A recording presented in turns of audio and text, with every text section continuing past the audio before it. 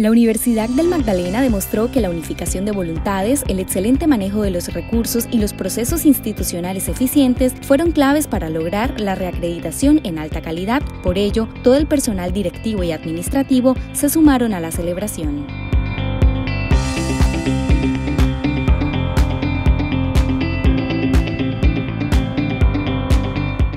La mejor noticia que la universidad ha recibido en su historia. Es una noticia de su reconocimiento de la alta calidad que tiene, de lo que hacemos dentro de la universidad a nivel de formación de nuestros estudiantes, de investigación, de, extensión, todo ese gran desarrollo que hoy tiene la universidad, que somos de alta calidad. Han venido mm, haciendo un proceso de transformación con unos principios fundamentales en crear con la comunidad, transformar cada uno de los espacios que representa el esfuerzo, no solamente del, del, equipo administrativo, sino de todos los estudiantes para la consecución de este gran logro. Este es un logro muy importante para la universidad, eh, sobre todo por el momento en que estamos viviendo hoy en día por este tema de la pandemia, que esto le da prestigio, eh, sobre todo a la universidad y a todo el departamento felicitar al rector, a las directivas y todo el cuerpo de docentes y estudiantes que hacen parte de, de, la universidad por este reconocimiento. La Universidad de Magdalena ha avanzado mucho por las gestiones que hacen todos los funcionarios de aquí en la Universidad de Magdalena. Y muchas y muchas, muchas felicitaciones por esa acreditación. La universidad